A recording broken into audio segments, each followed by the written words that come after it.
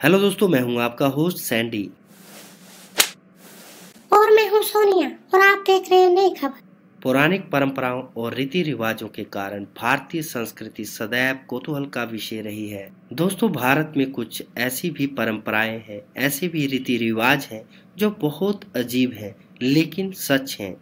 दोस्तों आज इस वीडियो में हम आपको एक ऐसी ही परंपरा के बारे में बताएँगे जिसके बारे में सुनकर आपको काफ़ी हैरानगी होगी। इस परंपरा के अनुसार पंद्रह दिन तक लड़कियों को निवस्त्र रखा जाता है और उनकी पूजा की जाती है।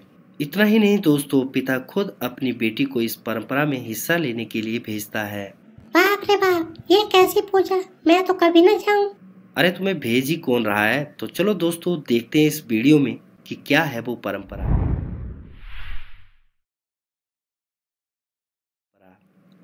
दोस्तों, तमिलनाडु के मैदूर ज़िले में येजिया काथा अम्मान मंदिर में ये परंपरा निभाई जाती है। आसपास के लगभग 60 गाँव के लोगों का मानना है कि अगर इस अनुष्ठान के लिए उनकी बेटी का चयन होता है तो वो बहुत भाग्यशाली है। दोस्तों, इस रस्म की शुरुआत होती है पंडित के सामने परेड से। जी हाँ दोस्तों, एक पंडित यानी पुरुष के सामने कुछ लड़कियाँ परेड निकालती हैं। उसके बाद वो पंडित उन लड़कियों में से सात लड़कियों को अनुष्ठान के लिए चुनता है, जिसके बाद उन लड़कियों को पंद्रह दिनों तक मंदिर के एक कमरे में नगर अवस्था में रखा जाता है। लड़कियों को कमर के ऊपर कुछ भी पहनने की इजाज़त नहीं होती है। पंद्रह दिन तक ये लड़कियाँ मंदिर के पुजारी की देखरेख में रहती हैं।